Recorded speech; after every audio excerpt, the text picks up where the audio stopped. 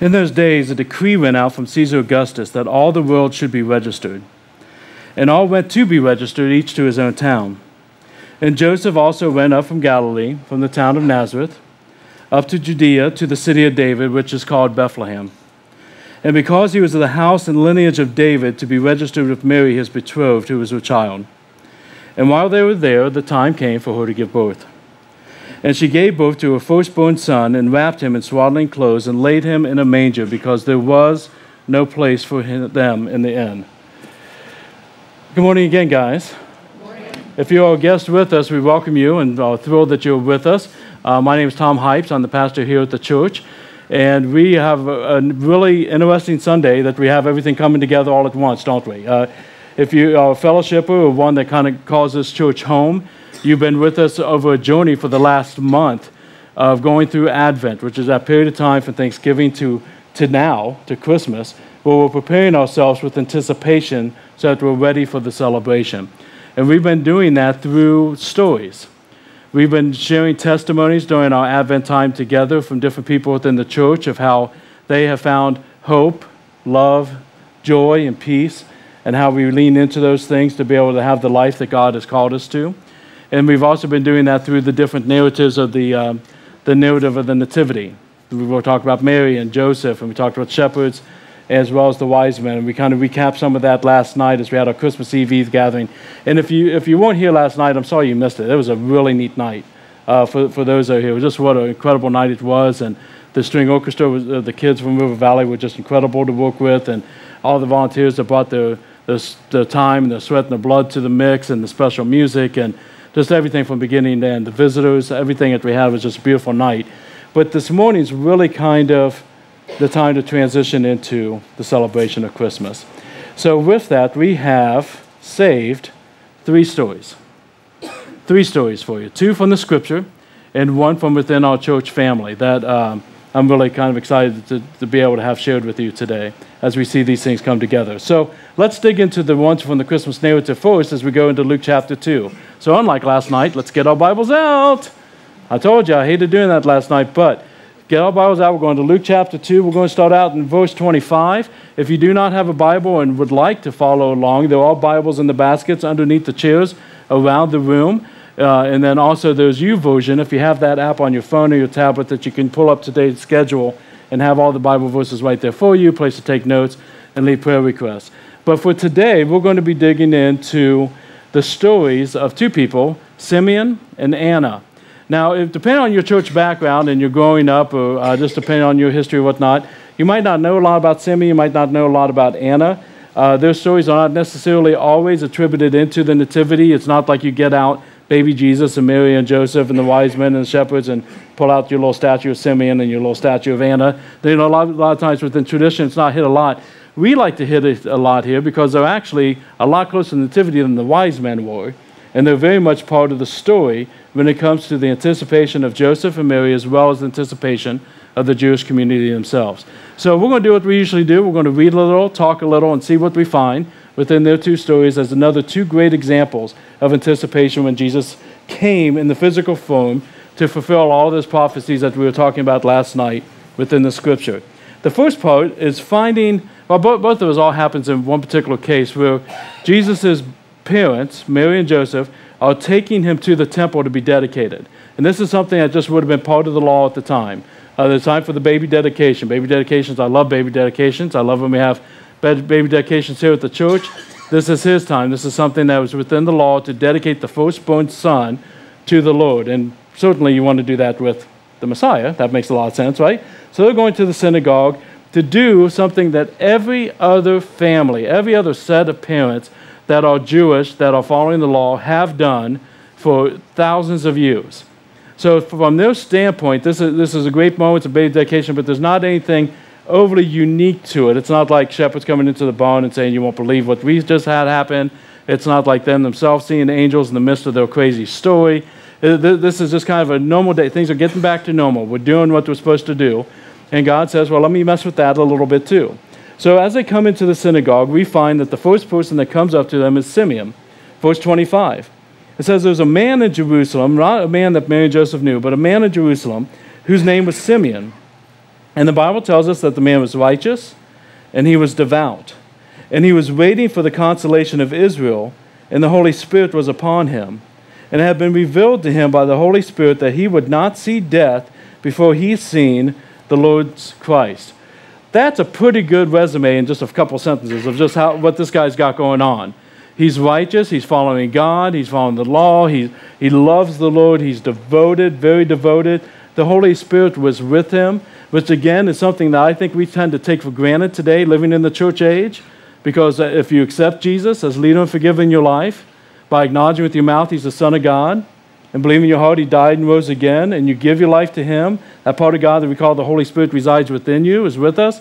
That's not Old Testament living. That happened after Pentecost. That's when the Holy Spirit came in Acts chapter 2. Holy Spirit's very active. The Holy Spirit's very communal. We see him through the whole Old Testament, but he's not thought of in a personal way outside of the greats, just like what we saw with Mary when it came to being highly favored, that the Lord was with her. Simeon has the Holy Spirit with him. That's a big statement to find at the beginning of Luke. That, this guy's a hero of the faith. He's righteous. No one's ever heard of him, but he's a hero of the faith. He's righteous, he's devoted, and the Spirit has seen fit to promise him that he will not die until he sees Christ himself. Do you remember last night when we were talking about that big old timeline?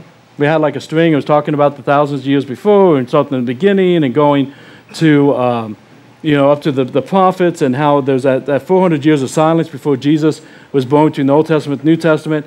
A lot of people stopped anticipating. They believed the Messiah would come someday, but they started to kind of take him for granted. Kind of like what we do today, again, with the second coming of Jesus. It's going to happen someday, but I'm not living my day like it's going to happen today. They just kind of lost their anticipation. Again, that's a mistake on our part.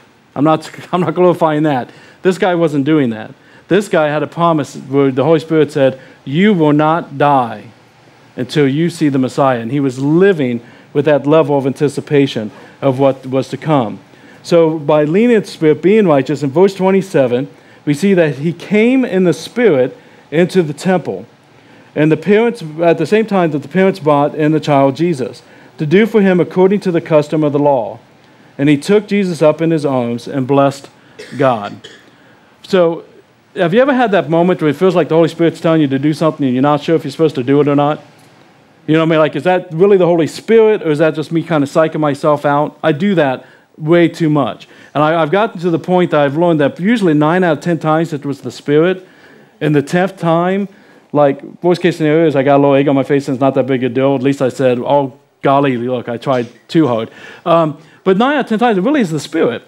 And I, I just had this the other day. I was over at um, Brookdale Nursing Home, and that's one of the nursing homes I used to teach at. I taught there for six and a half years, and it's one of the nursing homes I retired from at the end of summer and I hadn't really been back, um, mostly because a new person came in to start teaching. And when you're dealing with um, some of the limitations and challenges of, uh, of folks, uh, you, consistency matters.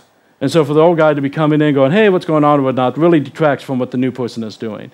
And so I, I, I wanted to spend some time away from it, but I used the, the, the, excuse of the, the card ministry team here at the church did cards for nursing homes and for the homeless shelters and Tony Point.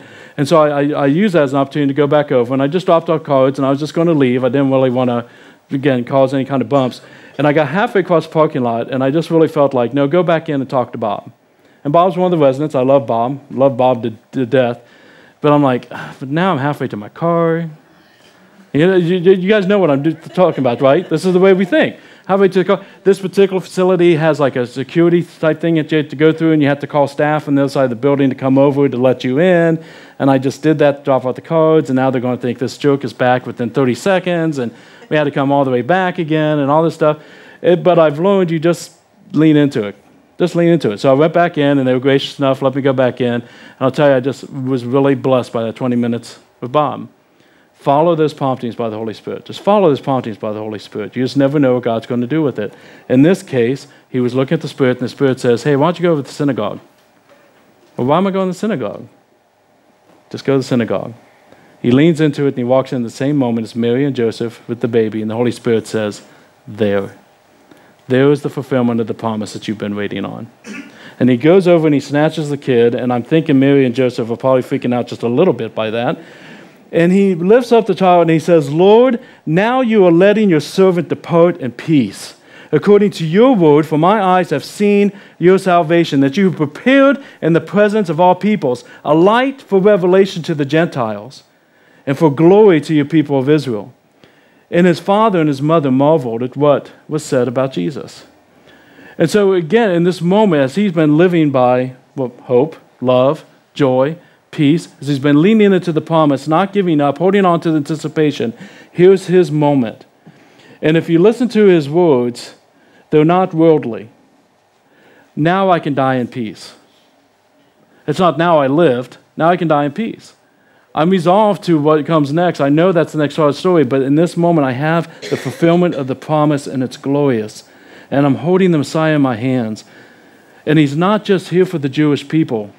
This is something that's unheard of within the gospel period of time. They were God's chosen people. He's coming for us. He's like, no, I get it. It's bigger than that. This is good news that brings great joy for all the people, for the Gentiles and for the Jews alike. And Mary and Joseph once again have another moment to ponder, another moment of confirmation that Jesus Christ has come, that the Messiah is here. Now, as if that wouldn't be enough for them to go with, if you jump down to verse 36 with me, we have a second testimony. In this case, it's not a man of faith, it's a woman of faith. It's one of the heroes of our faith by the name of Anna. It says, There was a prophetess, Anna, the daughter of Phanuel, maybe, of the tribe of Asher. She was advanced in years, and having lived with her husband seven years from when she was a virgin, and then a widow until she was 84, she did not depart from the temple worshiping and fasting and prayer night and day. And coming up at that very hour, she began to give thanks to God and to speak of him to all who were waiting for the redemption of Jerusalem. I love this story. And you guys kind of stop and do some of the math to kind of get an idea of what her life was like. If we go back to our talk about Mary, and that in this culture at this time, Generally, women got married about the age somewhere between 13, 17 years old, 12 and 17 years old. That if, if Anna followed culture, she was married. She was with her husband for seven years. So now it's putting her, what, 22, 24 years old? He passes away. And instead of scrambling to find a new husband or following the law to marry one of his relatives to stay within the family line, she says, I'm content with my Lord. I'm content with my Lord. And again, this is one of those things we have to kind of keep in mind. Eh, We're not placed on this earth to have a spouse. That's not the ultimate goal. Eh, eh, I, am married, I love my wife, everything's great and grand, but that's not the ultimate goal. We don't have to be married to be complete. Our completion comes in Christ, or else you're not ready for marriage, anyways. So here she is, she decides, I'm giving my life to the Lord. And she moves into the church. We now have to take the staff office, move everything out, put in a bedroom because Anna's now living at the church. She's going to be there all the time. And she's going to live a life that makes me look like such an immature, puny little Christian boy, where she is constantly praying, fasting, seeking, learning, running after God. And she is gifted with a voice, a voice of God. She's a prophetess. And so, as this happens with Simeon, as he pulls Jesus out of the hands and he's holding him up and he's singing this great song, Anna comes running over in the spirit. And she does not necessarily take it in for herself as much as she starts taking it in for everybody else. And she starts saying, Everybody listen to me. This is the moment. Everybody listen to me. This is the child. This is the Messiah. This is the fulfillment of the promises. This is what we've been anticipating. This is God. Jesus. And I am confident that many people in the synagogue thought they were crazy. I thought, I, am confident a lot of people did not sign on. We see that within the religious leaders of the time, we see it within the Pharisees, we see it within the Sadducees. But for those who are anticipating, believing, living by faith, leaned in, and it changed everything. But they would not be able to receive the light if they weren't hopeful, understood that God loved them, filled with joy, protected by peace. So let's talk about those. Uh, Scott, if you would put just those up on the screen a little bit. I want to look at those a little bit differently with you this week as we go into Christmas. Because here's, here's the challenge I think we sometimes have is when we look at Christmas and we look at, bless you, uh, hope and love and joy and peace, I think we look at them in kind of a mild manner way. They're like the Clark Kent version of what we go into, like, you know, oh, oh Holy Night or Silent Night or uh, a lot of the songs that we love and cherish about just kind of the, the mild manner end of things. Um, and I, I want to suggest to you today, and I kind of tipped my cards a little bit last week when I was talking about joy on this because it just felt like the Spirit wanted to say it. But I want to suggest that it might do us some, some good if we saw the four of these as weapons that we have been given by our God to protect the life of freedom that He desires for us. That these are things that are not just supposed to be mild mannered and on our Christmas cards and the kills, but it's things that we hold on to. They're, they're arrows in our quiver that we have to fight the enemy who tries to steal from us everything that Jesus gave us when we come to Him at the manger for the first time. Um, I'll, I'll, show you what I mean. And Scott, I'm going to need your assistance with this as we go. But, but when we look at hope, hope truly is really the weapon that we have when it comes to, Scott, if you will go to the next one, when it comes to uh, abandonment. That is the main thing that hope is there to help us fight against. When we feel stressed out, maxed out, when you're sitting there with your checkbook or you're sitting there looking at a relationship that is falling apart in front of you, and we lose hope, is it not truly a sense that God has abandoned us?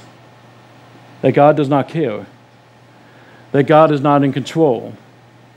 It is our hope that lets us combat that to the point of realizing that's not the case at all.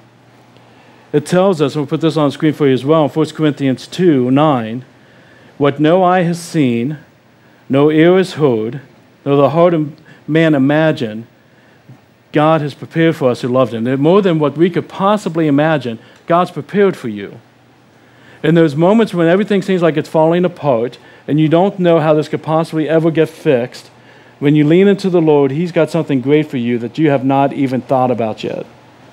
And I'm telling you, I can tell you in testimonies of my life where God has done more than I ever deserved by far. And oftentimes, a lot more than I imagined in the moment. We look at things six months down the road, 12 months down the road. And if you're the world, you say, well, time changes things. I'm telling you, when I look at my testimonies, time did nothing. As I've seen a lot of people go through time and end up more bitter, more in pain, more angry, more afraid. It is my Lord. It is my hope that lets me say to Satan, You don't get to play here. This is not your playground. If we go to love, love really is a weapon against the feeling of indifference when I think that God does not love me, and again, that was the main focus that we had. It's not whether or not I have a boyfriend or a girlfriend, it's the love of my God that we focused on because I truly don't believe that we can celebrate Christmas to its fullness unless we understand God loves you. And when we get to those places where we think that no one cares, or that He has forgotten us, or He has drawn away from us, we believe that God has become indifferent about us that he doesn't really care about what's going on in my life right now. He doesn't really care about me. Or maybe God is so busy with everybody else that he just doesn't have time to focus in on me. Or I've heard people say, well, yeah, I'm going through some stuff, but I don't want to bother with it because you're a pastor and I know people have it worse than I do. It's not a game, it's not a competition. Whether or not you're coming to him with some major life changing situation, or you feel like it's a major life situation that your cat passed away, it's all in his spectrum of going, I care about that. I love you. As I'm looking through the scripture, I'll tell you, and, and we saw this, uh, I, I, don't know, Sylvia, are you still in the room? Hey, baby. Uh, I, I, noticed a Facebook thread that another pastor in town was doing, Josh, uh, and he was asking people for their favorite um, Christmas scriptures, and, and, Amanda shared a, a great one, and I uh, took note of that. I, I didn't share mine, but, but mine would probably have to be John 3.16. And I know it's one of the most popular verses, and I know it's probably the first memory verse that most of us memorize, unless if you're cheating and went with Jesus wept. But really, when you stop and you pause, holy cow, for God so loved you, me, the world, that he gave his only begotten Son. And I don't know if you fully ever get that unless if you have children yourself. So that we should not perish, but that we can have everlasting life. Everything he has ever done from the beginning of the book to the day that we live in today is constantly moving for reconciliation, protection, and freedom for people and for you. Love is that weapon against that feeling of, of indifference that God does not care. If we go to joy, joy is the weapon that we have against discouragement. A little lighter. When you're in those moments of discouragement, these are starting to come together. So let me just kind of keep the pace going. When we look in 1 Peter 1, and, you, and there's times when you feel like everything is falling apart, Peter reminds us that though you've not seen him, you love him. Though you do not, um, though you do not see, now see him, you believe in him and rejoice with joy that is inexpressible and filled with glory, obtaining the outcome of your faith, the salvation of your souls. Joy is never something that we have to manufacture. Joy is a natural response when you are living by faith. If you look at the last part of the line, it's the outcome of your faith. It's when we believe in what we hope for and we're certain of the things that we do not see. That's what Hebrews 11 tells us. Then you are living by faith. And when you're living by faith and you know that God's in charge of all things, joy is natural. So if Satan is stealing your joy, that's the area to start leaning into more. That's the weapon that you go to. And this is why I say peace goes with it. And there's a weapon that goes with this because peace is the weapon against distress. When we feel like everything is falling apart. Isaiah 26, 3 says this. And this is saying, speaking to God. You keep him, you keep her in perfect peace, whose mind is on you because they trust in you. If today you're coming into Christmas, and maybe you've even been here this entire month and you listen to testimonies and you, have seen the stories and you've gone through things, and you are overwhelmed, and you are afraid, or you are lonely, or you think that things are just falling apart and there's no hope for you. What Isaiah tells us is it is a promise that he keeps you in perfect peace when your mind is upon him when we are focusing on Him instead of the circumstances, when we're focusing on Him instead of our wants, when we're focusing on Him instead of the ways of the world, you keep our mind in peace. These are weapons. Last year I shared a story with you, and I think it's probably the third or fourth time I shared it with you. Um, when it comes to Christmas, my sister's favorite sermon metaphor of all time. Not mine, but my sister's. I was at her house. We do Christmas Eve at my sister's place with our extended family. I'll be going there in a couple hours. And I remember several years ago. She, just out of the blue, we were talking about doing a Christmas Eve gathering. She goes, Let me tell you my favorite um, sto- illustration or metaphor I've ever heard. She goes, Back in college, I was listening to a pastor talk about Christmas, and he was talking about Jesus as the, the Lion of Judea. And she was talking about that when you, let's say you go to the zoo, I'm not sure. How many animal nuts do we have in the house? People like animals? Okay. Anybody hate cats? I'm sorry, Amanda. I'm sorry. I'm sorry. I was out. Don't jump on my train wagon. You all be in trouble too. Um, but let's say you go to the zoo and they, they bring out this like little itty bitty lion cub, right? And that you, you can hold it, but a class trip or whatever the case may be. And you got this lion cub. That's going to be just a downright adorable moment, is it not? I mean, it's just going to be, you're, you're going to play with its mane it doesn't look at you as food at this point. It's just a nice little moment that you get to play with the lion and maybe have your kids with you or some friends with you or whatnot. And that's really what we do with Jesus. That's really what we see at Christmas time. It's the mild, it's the mannered, it's beautiful, it's sweet, it inspires. But as that lion grows, and the lion of Judea does grow, as it grows in your life, he no longer becomes tame, soft, play toy. He's ferocious. He's powerful. He's good, but he's ferocious. And you cannot contain him. And you cannot control him. All you can do is lean into him and enjoy the ride. When we make hope and love and joy and peace comfortable, cuddly, mild manner, we lose a lot of the power that we have through Jesus Christ to say, Satan, you are not stealing my freedom. You're not stealing my peace, you're not stealing my joy, you're not stealing my Christmas. It's about you. We see that in the life of Simeon. We see that in the life of Anna. But as I promised, I promised you one more. Tammy, would you be so kind?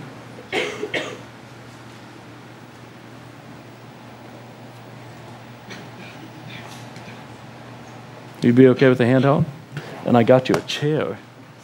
A chair. I'm going to sit right over here by you. What's that? Caramel latte. Latte. I thought you were asking me for some coffee. if you guys do not know Tammy as I know several of you do, and I think you had some vineyard connections from back in the day and some different friendships here. Um, I know Tammy through her father, uh, John. John was one of my residents at one of the nursing homes who I love dearly. Um, John was uh, an interesting bloke and funny, and, and I know he's got a, big, long uh, life. It, for me, one of my, my favorite memories of John is he would like to call her in his later days. He would call her calling pages like kids do, and then he would take and frame them uh, and give them away. Emily has one of his framed art pieces at home in her bedroom that he gave her. Um, and unfortunately, we, we lost uh, John a few years back and uh, through that got to know you a little bit better, uh, being blessed to officiate the, the, the, funeral, and then on the more of a celebration, your wedding as well. So, um, so I've, I've known Tammy for a few years as, as well, but I want to make sure you guys get to know Tammy as well. She's been coming to the church now, I mean, pretty steady for that last several months, and uh, six, seven, eight months, and uh, she's going through a new season, as we all do. We all go through different seasons that we have, and um, that's kind of want to give you a couple seconds to talk about the season that you're in. Well, what's going on? Um, it was kind of in between Thanksgiving and the first of December. Um, I went in for a routine mammogram. Um, I was maybe about six months late going into it and everything, but it turned out that after about five tests, going to Stefanie Spielman uh, Comprehensive Breast Center, um, that I have cancer. And um, my emotions are unpredictable.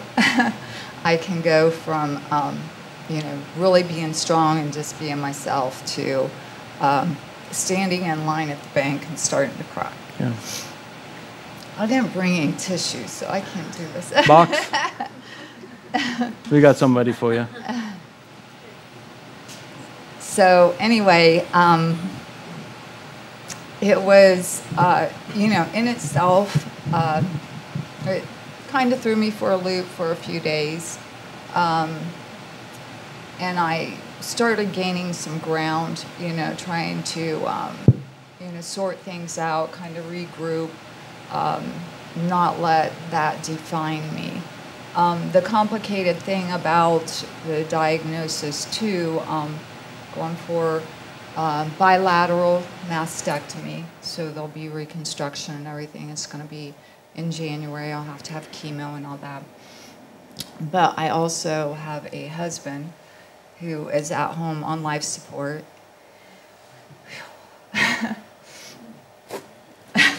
it's a full box, your friend. And um, I am one of his, I'm his main caregiver. I have somebody comes uh, while I, I'm still working. Um, you know, over the last year, I haven't felt that good, but he had resp- respiratory failure about a year ago. So there's been a lot of stress. Um, and uh, cancers in my life in other ways than physical, you know, that I have been dealing with. Do you want me to not That's fully detail, up to you. But That's fully up to you, your story, um, sweet. So yeah, as I'm going through this, and as you know, uh, Tom uh, has kept in contact with me by kind of prodding me a little bit. Hey kid, how you doing? Once in a while, on messages and everything. Um, I have shared with him, uh, you know, uh, details of, um, I'm going to call it a, a, different kind of cancer that was in my life. And um, uh, he invited me, uh, you know, pretty much encouraged me. We had tech, uh, messaged a little bit, and then he basically, um, you know, it was like, you know how you message somebody and you think you're done? Well, then I look at my phone like a half an hour or so later and I see that Tom messaged me again and just really encouraged me to be at the service last Sunday. Um, and at that time, I was dealing not only with, you know, the news of the breast cancer and everything that comes with that, but I was also dealing with a lot of personal issues that I am looking at as a type of cancer in my life, also, as far as how, you know, I was um, uh, receiving them, dealing with them. So I came last week and I listened to, where's Dale? There you are. Um, listened to Dale's testimony. Um, and I was reminded uh, through his testimony of how I stood with my mom when she was taking her last breath and how I had prayed.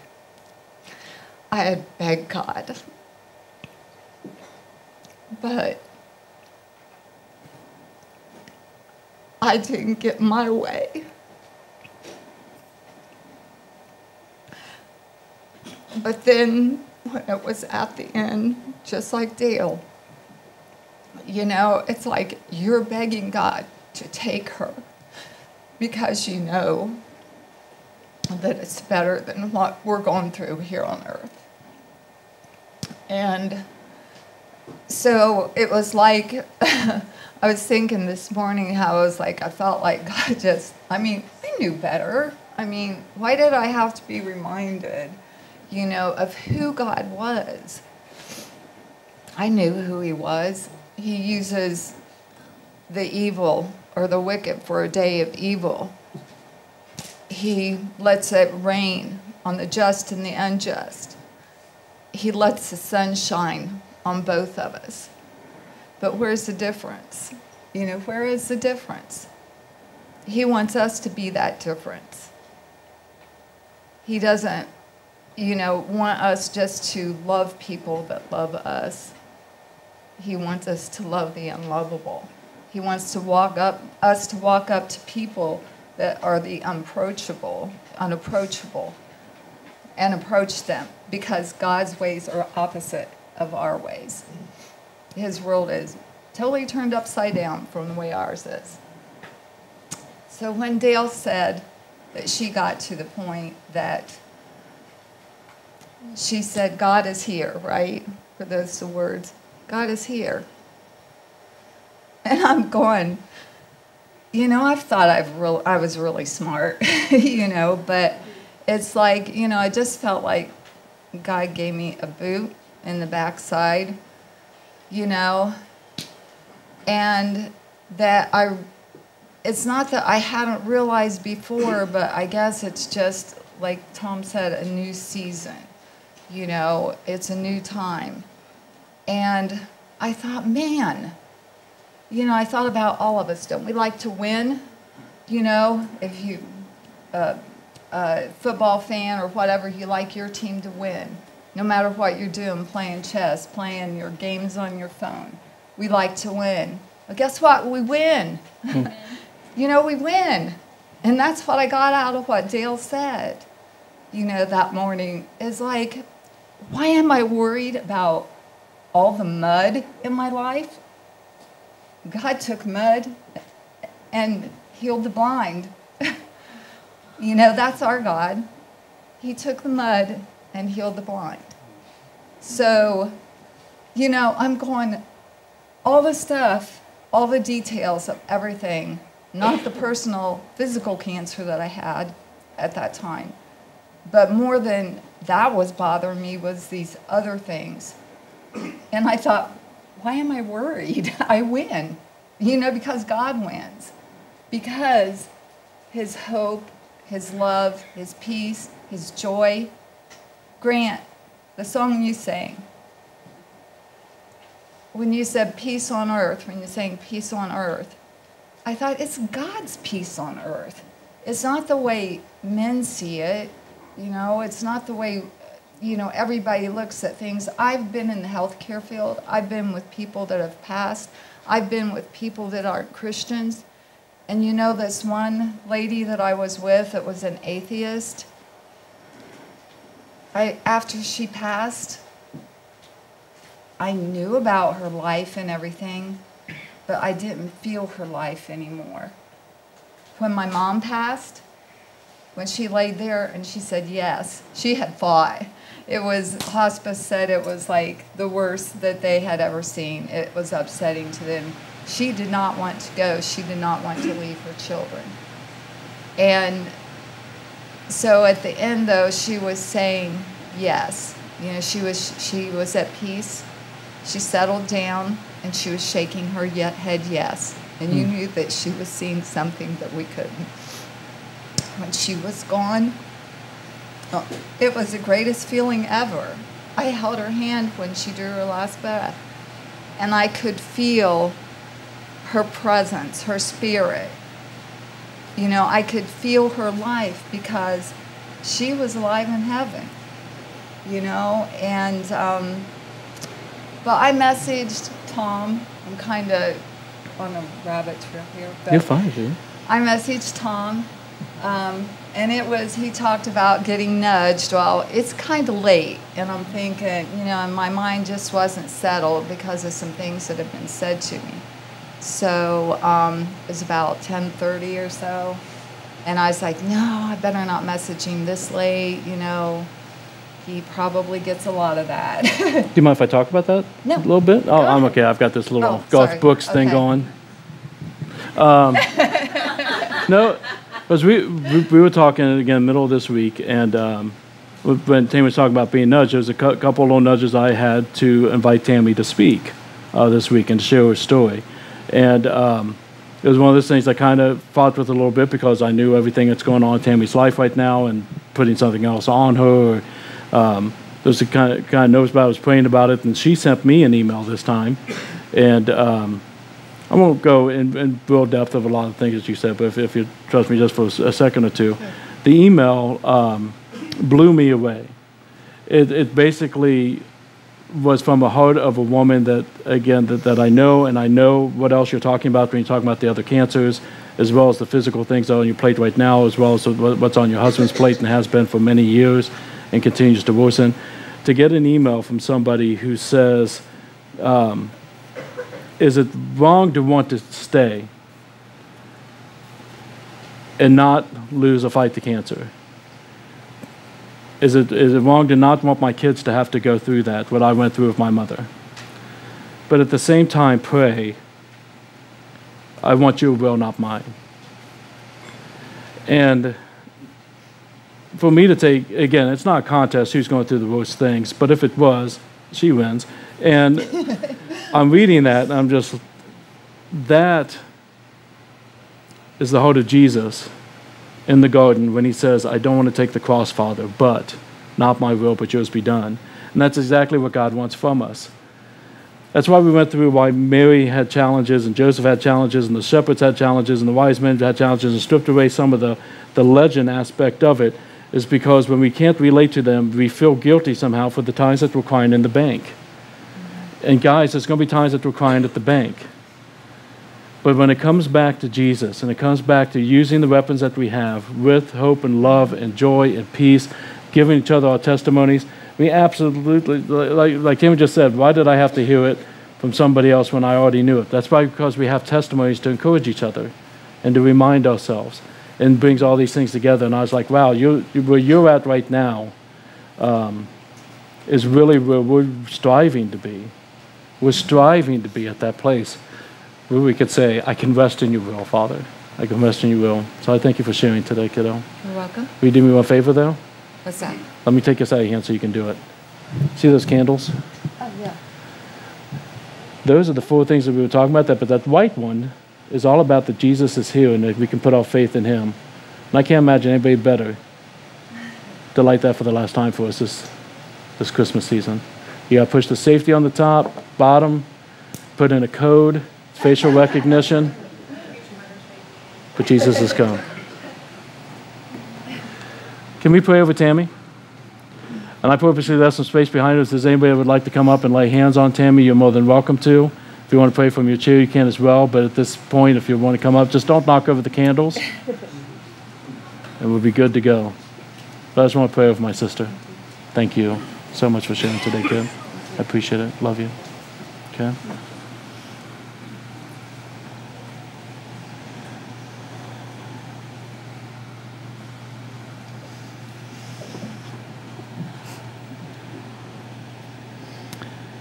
Dear Heavenly Father, I thank you for the friendship and the history and the celebrations and the remembrances that you have gifted me with my sister. I thank you, Father, for the blessing of choosing to spend time and be with us here at the fellowship, to not let the things of this world, including a distance, holy cow, this girl drives almost an hour to get to church and come so she can be in fellowship with her brothers and sisters, that she can worship, that she can learn. And Father, I'm thankful for the moving of your Spirit through testimonies, through your word, through relationship, Father, that encourage one another. And in this moment, Father, I lift up to you what you already know. I know you are painfully aware and nowhere near indifferent to the struggles that's on Tammy's plates. And I know that you're aware of the other cancers. I know that you're aware of the physical situation she's going through now. I know that you're aware of the five appointments that she had yesterday that makes her tired, but yet she still comes to share her story this morning. And I know you see a young woman who believes in you, trusts you, hopes in you, and leans into you. And I pray that is where she finds her power through the Holy Spirit that resides within her as a child of the risen King. I'm convinced that nothing can rob from her, take from her, while her mind is on the things of her Lord. So, Father, when it comes to these challenges, I know that you have the power and the authority, if it is your will, to immediately take these off of her plate and make it a testimony of a miracle, a miracle of healing, a, a miracle of relationships being mended, and of a family being pulled back together. You have that power, you have that authority, if it is your will. I know there's also some free will decisions in there and some of the things I prayed about that, that people have choices over. But when it comes to you and Tammy, I know she's leaning into you. But again, not our will, but yours be done. In every step of whatever path is in front of her, may she know that she's got her family be behind her here at the Shepherd's Fellowship and that we are here for her in any way, shape, or form that we can to be able to minister and to love and to be able to laugh and to cry together. And may she know that she lives and stands victorious no matter what circumstances come and whatever they may be on the firm foundation of the rock of Jesus Christ who always wins. I thank you for a heart and I thank you for a testimony. And I pray, Father, that each one of us here today are ministered to and grow from it. And we worship you and thank you. And may all the glory go to your name. In the name of Jesus we pray. Amen.